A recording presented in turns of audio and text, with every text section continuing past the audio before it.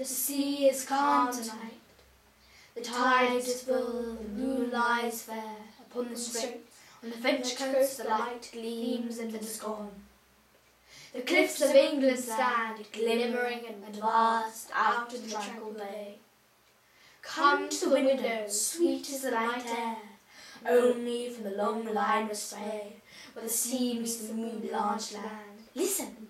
You hear the grating wall, the pebbles which the waves draw back and fling at their turn, up on the high strand, begin and cease, and then again begin, with tremulous cadence slow, and to bring the eternal note of sadness in.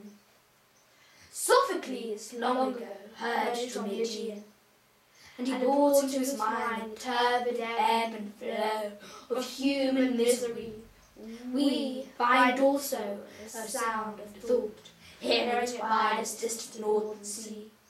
The sea of fate was once too still and round earth's shore, lay like a fold of white girdles fell, but now I only hear its melancholy long withdrawing roar retreating from the night wind down the vast edges sheer, and naked shingles of the world. Ah, love, let us be true to one another, for the world which seems to lie before us like a land of dreams, so various, so beautiful, so new, has really neither joy, nor love, nor light, nor certitude, nor peace, nor help for pain. And we are here on a darkening plain, swept with confused alarms of struggling flight, where ignorant armies clash by night.